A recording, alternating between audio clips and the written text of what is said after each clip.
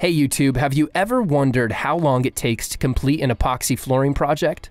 Well, in this video, we coat over 3,000 square feet in just a few hours, and the results are absolutely phenomenal. And what's crazy is that you can do this too. Stick around and let us know what you think in the comments.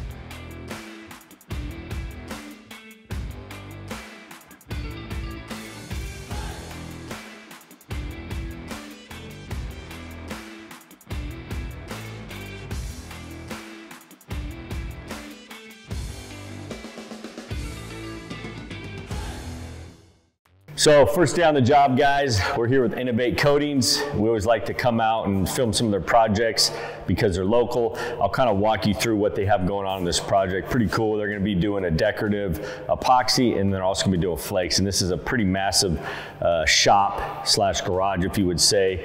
Um, so first things first is shot blasting. Obviously, we want to prep that floor, but we'll start on this. I'll run you guys over here real quick. I'll just kind of go through everything that they're going to have to do to, to get this floor prepped before they coat. Prepping is the most vital part of any project besides obviously mixing your resin correctly, okay? So prep is key. Um, first thing they're gonna do is, like I said, shot blast. So from this joint back is gonna be decorative epoxy all through there. From this joint forward will be the flake and then that room that we were just in, that will all be decorative epoxy. So shot blast, and then they're gonna clean out the joints, vacuum those, get them nice and clean, and then they're gonna fill those with our patcher paste or our crack repair. I'm not sure which one they're gonna use. They'll grind that flush. Now all the joints are filled and then any cracks they will also fill. So that'll be the next step after shot blasting and cleaning. All right, rocket. Anything, anything special about this? Turn it on and go. Turn on and go.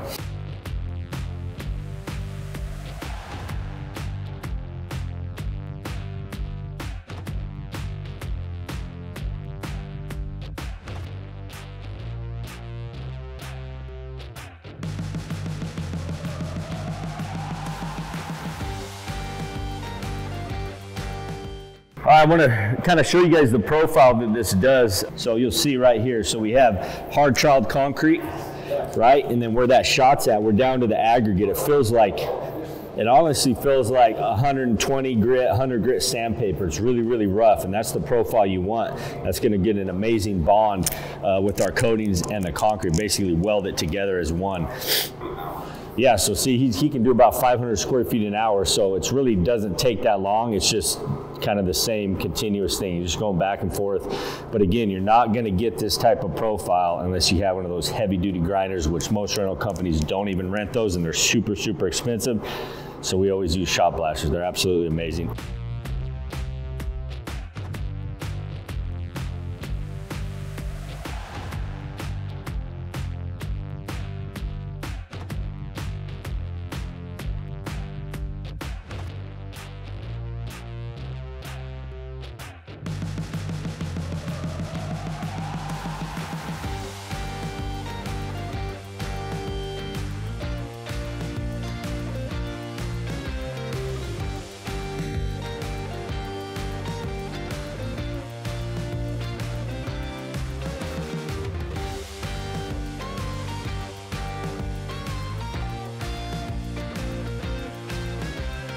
Okay, so a few, few things we got to hit on before we lay down that scratch coat of epoxy. Remember, we're doing about 400 square feet per gallon. It's really thin. We're just trying to seal up that concrete. Brian's gonna hop in here. He's gonna grind this section that we left high, and we're just using a diamond cup wheel for concrete, and it'll buzz right through this real quick.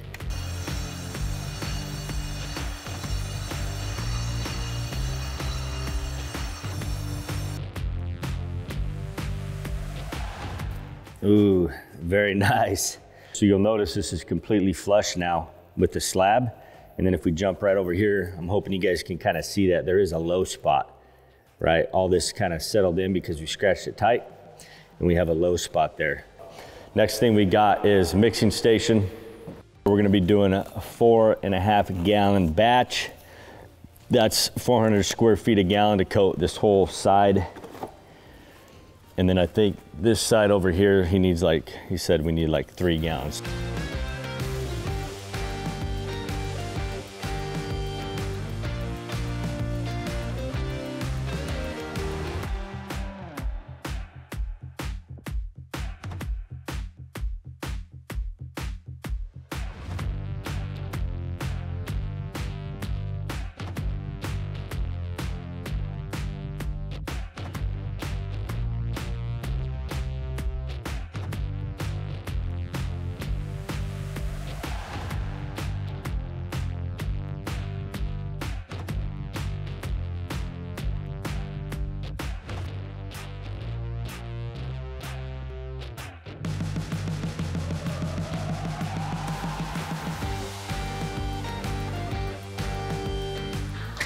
So we know this epoxy needs to cover this whole floor, so I'm gonna pour out small beads, leave gaps in between. Again, we wanna get it out of the bucket. We don't wanna let them sit in the bucket as we go.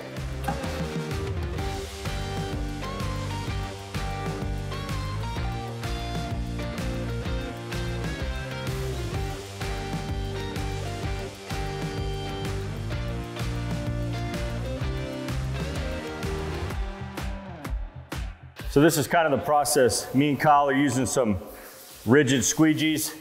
We're just spreading this stuff out. Notice we poured beads one direction and we're going the opposite direction, spreading it out. I don't wanna just spread out this pile and push it that way. I'm gonna wind up pushing a big pile over there. You'll notice we come through, we stretch it out because we have piles all throughout the floor. Brian comes back because it's not pulling it as tight as he wants. So he's using the metal uh, drywall scraper and he's scratching it even tighter. And then Brian's going back and doing a final pass with the roller. It's getting really soaked into that concrete. That's gonna give us a really good bond and it should seal up those pores to eliminate outgassing if there is any. So that's kind of the process. We'll continue this. You'll see us squeegee it with the, the thick rubber squeegees, the rigid. Brian will fine tune it and then Mark is going through and just rolling it real quick.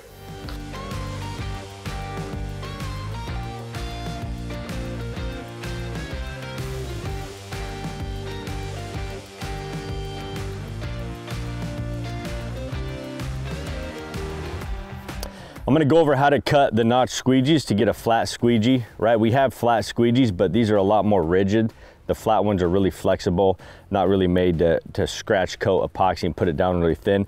So when we designed these, we made these rubbers really long so we could cut the notches off to create a, a flat squeegee. Now you can take a razor blade, right? Cut them like that. I'm gonna run it through the, the saw here. You obviously wanna be careful, wear eye protection, probably for professional use only here. Um, again, the easier way is just razor blade, cut those off, and then you can create that flat squeegee, and you'll see why we do that when we get to coating the floor.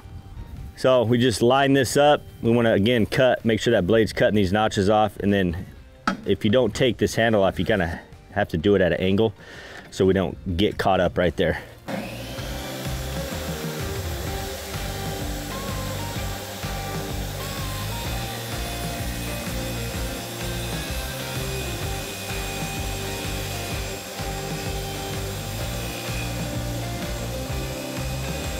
Now we got a flat squeegee. And again, that'll put that product down really, really thin. Yeah, money, dude.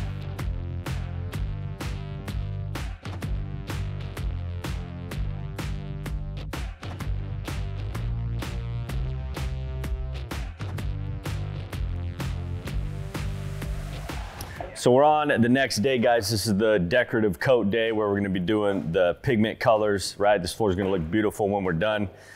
Behind me, they're going over getting the mixing station set up and we're gonna go over all of that. This is very vital to set up every uh, section that you're gonna be pouring because again, remember, we're gonna be breaking these floors up into sections so we always have fresh material. So uh, we got, Kyle's gonna be mixing here. Mark's gonna be doing the same exact thing. They're gonna be mixing at the same time because again, we're doing two uh, batches at a time. Um, and that's gonna cover two of our sections on the floor. So first thing we gotta do is dump in part B, which we have here to that line. Now, when you're dumping out of five gallon buckets, notice how he's dumping with the spout up top. You'll watch how nice it pours out.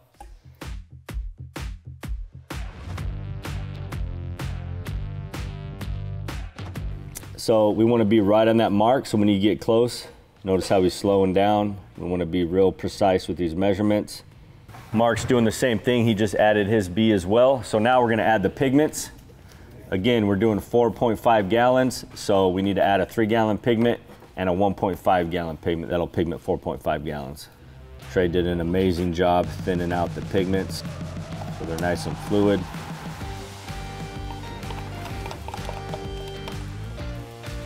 Perfect. Milk chocolate.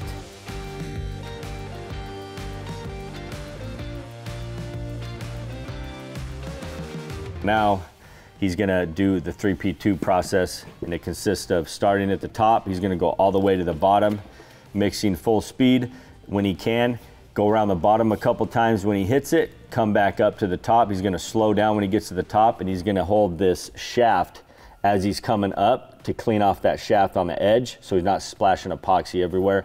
Once he hits the top, he'll go around once or twice, and then that stands for one. He's gonna do that three times.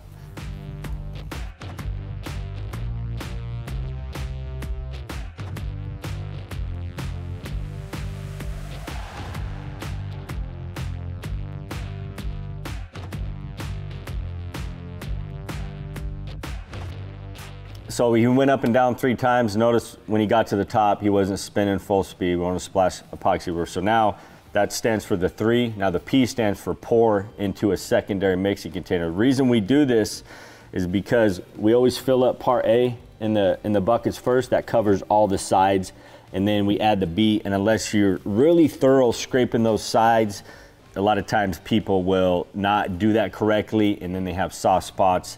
Uh, the resin doesn't set up in areas. Um, and so we always recommend using a secondary mixing bucket. This is gonna eliminate any issues with your product setting up. So like I said, the P stands for pour. He's gonna pour into the secondary mixing container. He's gonna take the five gallon paint stick. He's gonna set the first bucket on one of the ribs, right? Lock it in, and then now he's gonna take the five gallon paint stick, scrape as much out as he can, scrape the bottom, scrape all the sides. And when he's pulling that stick out, he's gonna immediately go up with it so it's not dripping out on the bucket and on the floor. And so he'll, he'll do this. Brian's gonna be finishing up his as well.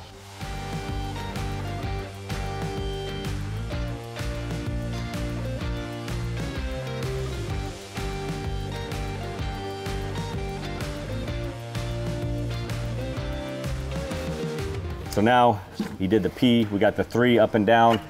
P, pour into secondary mix container, and now all he has to do is go up and down two more times, going around the bottom and the top when he gets there, and then this batch is ready to be dumped out on the floor.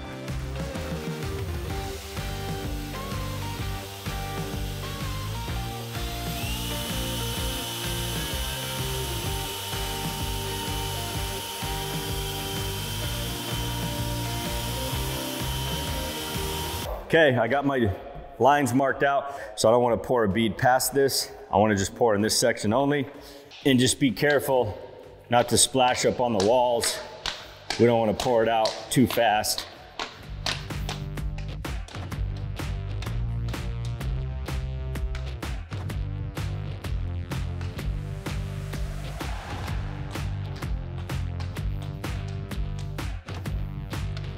All right, so notch squeegee is Real simple. It's got those notches. It's gonna put it down at the exact thickness that we want.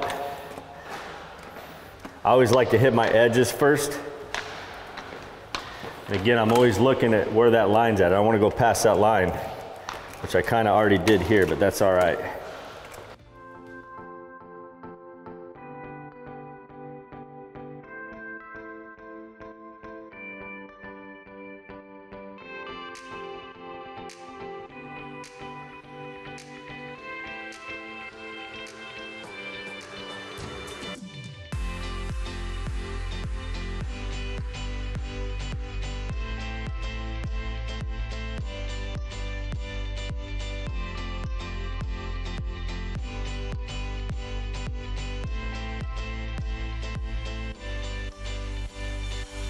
That's it guys, so that's why these notch squeegees are awesome, right? We knew we had to cover to this tape line. By the time I spread it out, I can't push any more product and we're right on that tape line. So we know this is exactly covered at 45 square foot a gallon. That's a good thick coat and then we add the highlights on top of that. So once that's done, we take the roller, 3 8 snap roller, make sure you de-shed it, roll it on some tape, get any loose hairs off. And don't just sit in one spot and soak that roller up. You're gonna remove all the resin there. I'll do a little, just randomly throughout the floor until it gets soaked up. And then I'm just going wall to wall.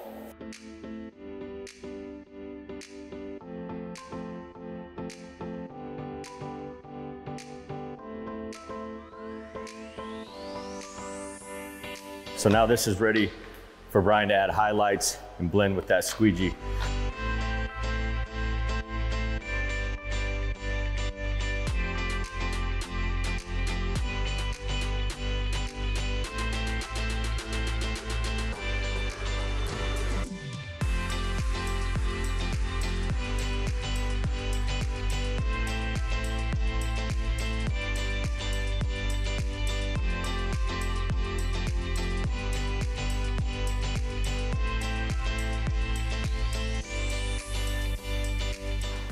All right, so the trick with the squeegee is notice he's holding it at a low angle. He's not holding it straight up and down. He's not trying to move the resin, he's trying to blend the surface. And notice he's going in all different directions. You don't wanna just constantly blend in the same direction. He's kind of moving all over the place.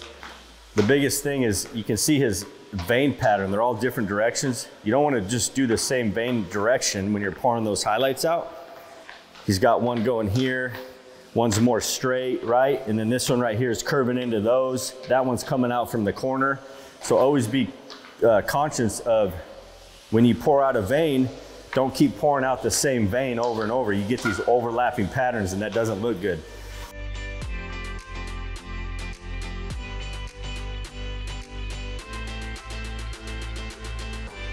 So once you're satisfied, the next thing is to spritz isopropyl alcohol. That's gonna make it cell out and give it dispersing effect. So he's just barely gonna pull that trigger and you wanna hit the whole floor with like small, medium, maybe a few large drops. And he's just barely pulling that trigger to get those droplets hitting the floor. So you guys will notice we got two buckets sitting here. Trey just bring to my attention, hey, these are ready to dump, which is vital, right? So we wanna dump these out. And the guy dumping out, just make sure you're not dumping that product past this line. Okay, we don't wanna go past the line. Benefit of the Notch squeegee is he can just dump the whole product right there and I can just push it. And by the time I run out, I should be right by our tape mark. So next step, we just repeat these processes, right? And I'm just gonna make sure I'm getting product to our previous floor. I don't want to go into it too much and ruin those designs.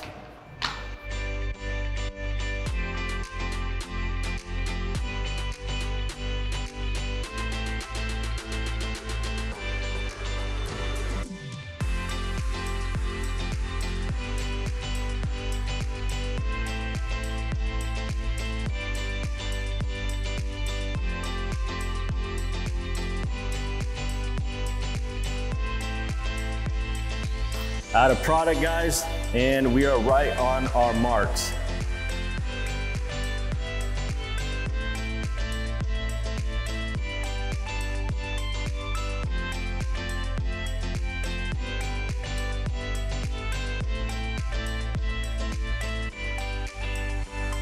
So we did the first two. We dispersed the surface with 91% or higher, right? Isopropyl alcohol. And then we got this section done. I went back, I sprayed misted denatured alcohol in those first two sections. Again, that's gonna help it lay out glass smooth any micro bubbles that might be in it. That's gonna help eliminate those and pop those. And so now I'm gonna hit this floor because we just got these two sections done. I'm gonna hit this floor, disperse it, right? Isopropyl alcohol. Once that's done, we're gonna do the next two sections. And then you always remember to jump back and miss those previous sections with denatured alcohol before um, you get too far down the line, right? You don't wanna wait too long to miss that surface. We're, we're rolling like a well-oiled machine here. We're ready for a new product. They got it set up. What's he doing? He's dumping it out of the bucket. Make sure we dump it out of the bucket right away. Get it down on the floor. Same thing with the next bucket. I always like to say, the resin's like you're spreading butter in a hot pan. Like that's the best way to describe it. It's just such a nice fluid product, so easy to spread. And these Notch squeegees are freaking awesome. We used to do this with a squeegee, our flat squeegees. We'd tape off our walls, spread it out. I, I, did it so many times, so much, I was pretty good at it, but man, people starting out or uh, that haven't done a lot, you never get it spread out good, nice and even. You'll go to roll it, you'll have real sticky spots where it's thin, some spots it'll be super, super thick. Yeah, so Brian, he won't even tape sections because he uses the Notch squeegee. He knows like, hey, I can dump a pile of product in the middle of the floor, spread it out, and when I'm out of product, it's at 45 square foot a gallon. So he doesn't even tape his walls for sections. He just uses those Notch squeegee. But it is a good habit to get into when you're starting out to know, hey, just to make sure your product's going, you know, the correct thickness.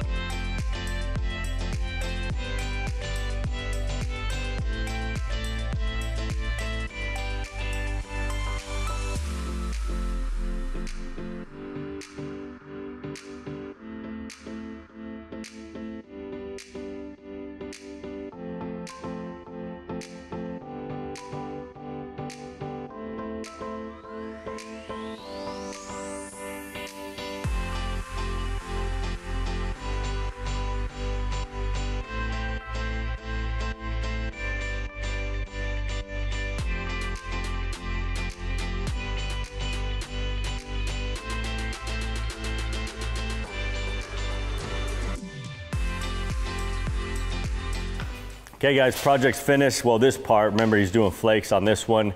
Um, coated 3,100 square feet. Pretty fast process to coat 3,100 square feet decorative flooring. So next step is to let this set up. We'll come back tomorrow um, and we'll go over applying the top coat, fixing any imperfections that we want to. So that's the next step in the process. Um, so yeah, see you tomorrow.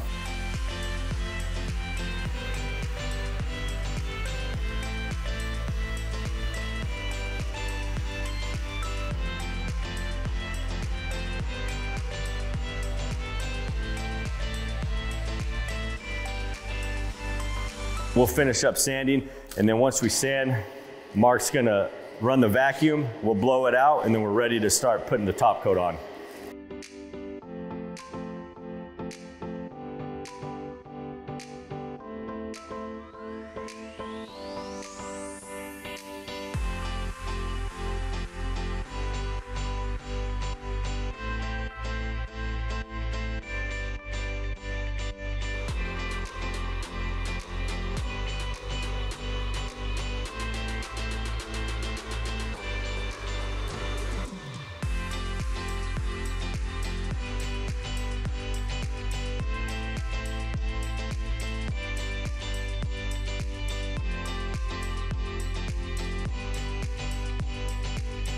Now that we have the floor all prepped, clean, filled any imperfections we wanted to, now we can mix up the top coat. I'm gonna go over that process right now.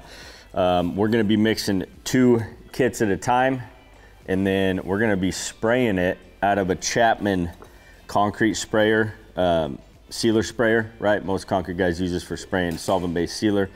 This is a very cool way to put down uh, our top coat and it minimizes roller lines. It gives you more working time um, instead of dipping and rolling. Dipping and rolling takes quite a long time on large projects. So you'll see how fast this is. Um, we just shoot it out of there.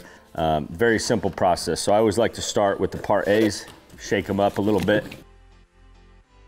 And then we're gonna dump these two in.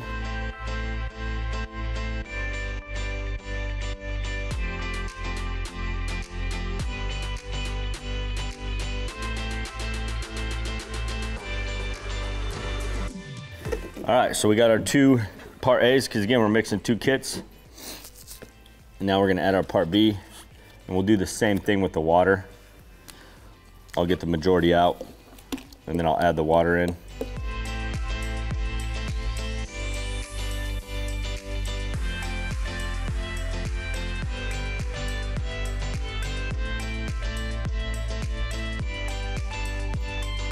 All right, now we got all the part A and B in. Got our mixing paddle and drill, make sure it's clean. I'm gonna dump the rest of the remaining water that's needed into here. And we're just gonna mix it for like a minute and a half, going around the bottom, coming up,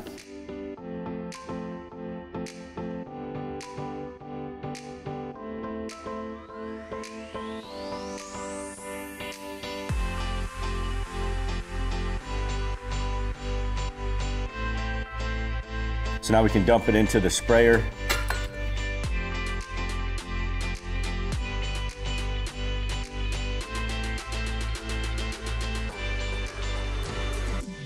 So once you guys have the roller soaked up, saturated right, we can start rolling out the floor. What we're gonna do, what you need to be doing is do your edge, nine inch roller, spray on your edges. And when you're doing your edges, you don't wanna go like 20, 30 feet down the room, right? We only wanna do sections at a time. We don't want that setting up on the edges before we get to it to roll out the whole floor, okay? So we're only gonna spray a couple feet down the edges, get all of our perimeter hit with that nine inch, and then we'll spray across the floor. Brian will, right after we spray a pass, Brian will jump in and he'll roll it out and thin that out. And you'll see kind of the amount you wanna put on the floor. You don't wanna spray too much and you don't wanna do it thin. You want a nice even coat. So you guys will notice you can kind of see the roller lines, but they're not thick, right? They're thinned out, they're feathered out, and that's that's what you're looking for. It's okay for it to look like this. Um, you just got to really make sure you're not leaving thick edges because those will show up. Everything's thinned out, feathered out.